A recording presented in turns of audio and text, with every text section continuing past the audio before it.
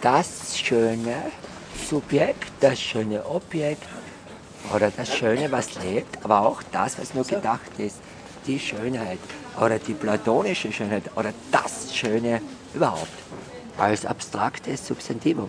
Das gibt es ja auch, verstehst Die manifeste Schönheit oder die gedachte Schönheit, die imaginäre oder Schönheit im Herzen, in den Gemächern der Innerlichkeit und so weiter.